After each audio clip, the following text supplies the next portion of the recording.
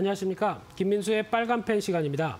오늘은 또 시장이 반등세를 갖춰가고 있습니다. 요즘 흐름을 보게 되면 시장이 좀 늦더라도 그리고 또 해외 시장보다 좀 강한 모습들이 나오면서 서서히 반등 기조를 갖춰가죠. 아, 그런 쪽에서 그동안 좀 미진했던 성장주 쪽, 대표적으로 2차 전지 같은 경우도 이제 반등 시도가 좀 들어오지 않을까로 바라보시면서 어, 경기 민감주와 성장주 어떤 균형 있는 포트폴리오 계속 강조를 해야 될 그런 시점이라고 봐야 될 것 같고요. 아, 그와 함께 오늘은 어, 이제 최근에 나오고 있는 보복 소비와 함께 이어지는 어, 보복 소비의 어떤 수혜를 받을 수 있는 대표적인 섹터가 OEM이다라는 관점 쪽에서 이 OEM 관련주들에 대한 동향들을 한번 체크해보고 투자 아이디어를 한번 찾아보도록 하겠습니다. 가장 먼저 어, 오늘도 미국 시장에서는 어, 관련된 코로나19 회복과 관련된 종목들이 올랐죠. 근데 여러 가지 기대감과 어떤 실망감 사이에서 계속 움직이는 상황이다 보니까 이런 패턴 쪽에 대한 변화를 생각을 하셔야 될 것 같고요.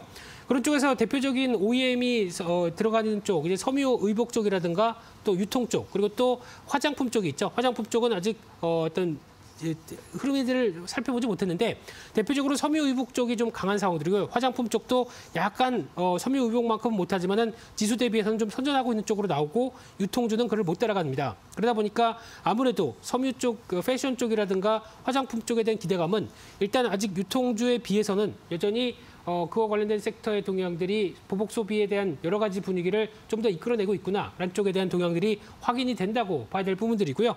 어, 그와 함께 또 어, 흐름을 보게 되면은 어, 소비가 또 잘 되기 위해서는 또 중요한 지표들이 소, 어, 소비와 관련된 지표들을 한번 점검할 필요가 있겠죠. 그래서 미국과 중국 모두 소비자 신뢰 지수와 실제적인 소비 판매 흐름을 한번 보게 되면요. 가장 먼저 이제 미국 쪽의 동향을 보게 되면 일단 어, 소매 판매는 이제 빠르게 회복을 했는 추세인데 아직 좀 제대로 추세적인 흐름을 못 갖춰간 채 어, 등락을 좀 거치고 있는 상황들이죠. 근데 어, 지난번에도 잠깐 언급드렸듯이 소비자 신뢰 지수는 이제 저점에서 빠르게 돌아오려고 시도를 합니다. 그 중에서 아마 이제 이번에 3월달 이후부터는 말씀드렸듯이 어, 어떤 지원금이 확인되기 시작하면서 그에 따른 변화가 조금씩 더 개선되지 않을까로 바라보고 있는데 이제 또 중요한 사실은 실업률이 개선돼야 되겠죠. 그래서 실업률에 의미 있는 변화가 어, 떨어지는 게 확인이 된다는 관점 쪽에서 그때 이제 본격적으로 어, 소비 심리도 빠르게 좋아지지 않을까라는 관점들인데 아직까지는 소매 판매 같은 경우도 일단은 무엇보다 필수품 쪽이겠죠. 이쪽 중심으로만 확인되고 있다고 봐야 될 것 같고요. 그나마 상대적으로 좋은 쪽이 중국입니다. 어, 특히 어, 소매 판매 지표나 그리고 또 소비 심리 모두 다 어, 양, 좀 양전환되는 모습들로 확인되면서 계속 꾸준한 추세를 갖춰가고 있는 게 이쪽이다 보니까 아무래도 소비 관련된 쪽에 중국 쪽을 많이 보는데 하지만 최근에는 또 여러 가지 변화가 나오고 있죠. 특히 중국과 미국의 갈등이 커지다 보니까 뭐 H&M이라든가 또 나이키 불매 운동이 나오기 시작하면서 이런 쪽에서 소비 신뢰 지수, 그러니까 소비 그 어떤 어, 지표들은 좋아져도 약간 이제 자국적으로 모아가는 변화가 나온다라고 하게 되면 이 부분은 앞으로 또 체크해야 될 또 중요한 트렌드가 아닐까 생각 들고 있고요. 그와 함께 또 확인해 보게 되면 그러면 이제 국내에서도 보복 소비 관련된 여러 가지 변화를 봤었을 때 이번에 지금 유동 인구를 또 많이 보죠. 강남과 홍대 상권의 유동 인구를 살펴보게 되면 누가 지나가는 사람들 다 체크했나 봅니다. 근데 지금 동향을 봤었을 때 지금 2월 말 기준 같은 경우도 아직 코로나 2차 대유행이 다 끝나지도 않았다고 보여지고 있고 오늘도 여전히 사회적 거리두기 운동이 연장이 들어갔는데 흐름을 보게 되면 작년 3월 달, 즉 어, 그 코로나19가 본격적으로 나오기 전 때보다 오히려 좀 다 늘어나기 시작합니다. 그만큼 사람들의 심리가 일단 어, 좀 지쳤다. 이제 좀 나가보자라고 하는 심리가 좀 더 커지고 있는 게 이런 현상이 아닐까 생각되고 있고요. 이러다 보니까 오프라인 쪽에서의 여러 가지 변화들도 대표적으로 백화점 쪽 어, 실적 흐름들 1분기 실적 전망을 보게 되면 일단 빠르게 27%뭐 30%대 이런 식으로 다 좋아지기 시작을 하죠. 그런 쪽의 변화를 봤었을 때 일단 너무 지친 가운데 이제 소비가 확인이 되는 과정들이 지금 서서히 나오고 있다는 쪽도 확인이 된다는 쪽에서 계속 중요하게 봐야 될 지표라고 봐야 될 것 같고요.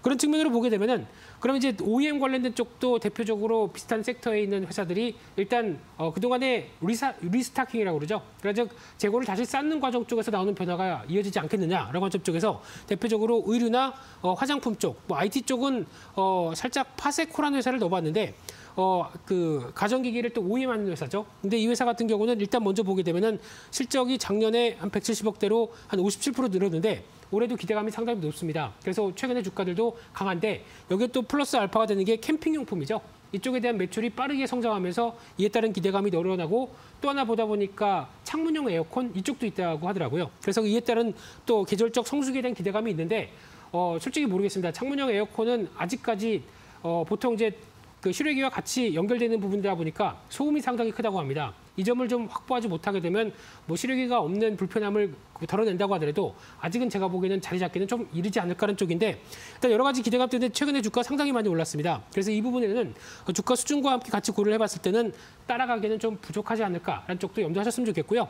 그밖에 의류나 화장품 쪽의 대표적인 주자 OEM 쪽을 보게 되면 올해 전반적으로 다 좋아지겠죠. 그리고 특히 화장품의 대표적인 OEM 주자들도 다 좋아질 것이라고 보여지고 있는데 특히 이제 코스맥스 같은 경우가 눈에 띄는 게 코스맥스는 여전히 어, 좋은 관점으로 바라보고 있습니다. 작년에는 손세정제 쪽으로 매출을 선방하더니 올해는 본업 쪽으로 선방하면서 한국 콜마보다 훨씬 더 실적 탄력성을 좋게 얘기를 하고 있습니다. 어, 비슷한 어, PR을 보여준다고 멀티플을 보여준다고 하더라도 지금 기준적으로는 훨씬 더 코스맥스가 주가 탄력들이 좋죠. 그만큼 어, 잘 선방했고 올해도 좋겠다라는 기점으로 보게 되면 둘 중에 뭘 고르냐라고 하게 되면 저는 코스맥스를 더 선호하면서 추세의 흐름들을 보는 게 맞다고 봐야 될 것 같고요. 그밖에 OEM 쪽의 의류 쪽도 계속 흐름들 나쁘지 않다라고 보여지고 있는데 대표적으로 화성엔터 같은 경우는 지금 어떻게 보면은 중국 어, 신장 위구르 쪽에 대한 어, 어떤 제재가 들어간다라고 하게 되면 거의 다 베트남 쪽이나 동남아 쪽에 기지를 갖춘 회사들은 오히려 또 기회 요인들이 높겠죠. 그러다 보니까 의류 관련된 섹터 쪽에서 그런 쪽에 변화가 들어오는 대표적인 종목들은 계속 관심 있게 보자라는 쪽도 어, 투자 아이디어로 보시면 될 것 같은데요. 그런 관점 쪽에서 종목들을 한번 살펴보게 되면은 일단 무엇보다 어, 작년 부진에 따른 흐름들 외에 이제 기대 심리에 따른 기저 효과가 나오는 관점들인데 아마 지금 실제적으로 실적이 발표되기 전이다 보니까 어, 코로나19 회복과 또 어떤 실망 사이에서 계속 trading 관점 쪽에 대한 변화들은 나온다는 관점 쪽에 중요하게 보셔야 될 것 같고요. 그중에서 더 중요한 게 브랜드력입니다. 지금 최근에 같은 의류 업종이라고 하더라도 브랜드가 확실한 대표적인 회사들, 뭐 F&F, MLB라든가 또 더네이처홀딩스의 어, 어떤 내셔널 지오그래픽 이런 쪽에 확인한 된 쪽이 나온다라고 하게 되면 오히려 또 JS 코퍼레이션도 마찬가지죠. 이런 어떤 변화가 나왔을 때 훨씬 더 주가의 탄력들이 좋다라는 부분들은 확인하시면서 브랜드의 가치가 얼만큼 실적을 이끄는지 이 부분도 중요하게 보셔야 될 것 같고요. 그런 측면으로 봤을 때 하나 어, 관심 있게 봐야 될 의류 쪽에 하나가 크리스 F&C라는 회사인데 골프 쪽에 강점이 있습니다. 이제 골프의 저변 인구가 20, 30대까지 늘어났죠. 과거에는 40, 50대 중장년층이 약간 산보하면서 비즈니스 하는 이런 쪽으로 바라봤는데 이제 바뀌었습니다. 그러다 보니까 좀 가성비 높은 팬텀, 핑 이거 잘 아는 브랜드실까요? 저는 잘 모르겠는데요. 이 골프 브랜드가 부각되면서 어, 또 기대감이 높아지고 있고요.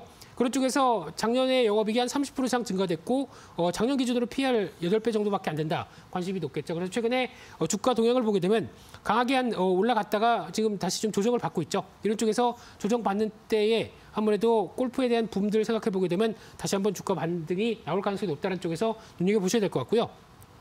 두 번째로는 또 어, OEM 쪽에 이제 화장품 용기 쪽에서 많이 연우를 보고 계신데 아마 제가 보기엔 펌텍 코리아도 만만치 않게 어, 주가의 탄력들을 좋아질 가능성이 높은데 작년 같은 경우 오히려 연우는 실적이 부진했는데 오히려 플러스가 났습니다. 그리고 올해에 대한 기대감이 상당히 높은 가운데 펌텍 코리아의 강점은 연우보다 쌉니다. 게다가 또 외국인 비중을 보게 되면 연우는 두 자리 숫자인데 펌텍 코리아는 아직 2.5%대밖에 안 됩니다. 그만큼의 변화가 나오게 되면 기대감이 높겠죠. 그런 쪽에서 일단 오늘 같은 경우도 최근에 주가가 이제 반등 시도가 나오고 있는 과정 쪽에서 안착하게 되면 한 2만 원대 이상은 충분히 나올 수 있는 대표적인 회사다라는 쪽에서 어떤 상대적인 저평가를 이용하는 전략도 좋겠다라고 말씀드리고 싶습니다.